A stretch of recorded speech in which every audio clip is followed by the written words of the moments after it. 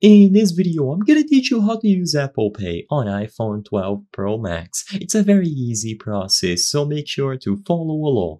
In this video, I'm going to give you easy to follow instructions on how to properly set up your Apple Wallet and use Apple Pay on your iPhone 12 Pro Max. Keep in mind that this process is quick and easy and it's usually the same across all models of iPhone. So first, set up the wallet. So open the wallet application. This is where your cards will be stored and you can find it as a default application on most iPhone models. So now when you open the Apple Wallet, you will have to add a new credit or debit card. So tap the plus sign at the top right corner of the screen and choose the option to add a credit or debit card. You will also notice that you can add multiple different cards, such as loyalty cards, transit cards, and so on, but I'm gonna be focusing on payment cards in this video. So when you tap credit or debit card, you will either get the option to scan your physical card to automatically fill out the details or enter the card details manually. Either way, you just have to make sure that you enter the cardholder's name, the number, the expiration date, and the security code. Confirm all of the details and you will be asked to verify the card through various means. Choose whichever one you prefer.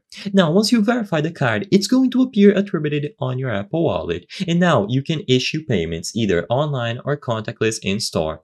If you want to do an online payment, proceed to checkout on any online store, retailer, or application that accepts Apple Pay, such as the App Store, for example. And when you choose to pay, select Apple Pay as the payment method. A prompt will appear and you will be able to authenticate this purchase using Face ID or any other similar verification verification method, and as long as you confirm that purchase and you choose the appropriate card that you link to the Apple Wallet, Apple Pay is going to be used and you will make the payment.